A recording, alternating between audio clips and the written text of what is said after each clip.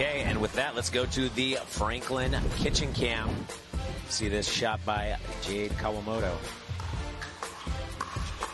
Really, she just needs to put that ball in the open court that Hewitt leaves out there as he comes over aggressively. And you can see Jade's body language as she kind of holds her breath, willing that ball to stay in. Yeah, when you poach like that, you got to make sure you put the ball away.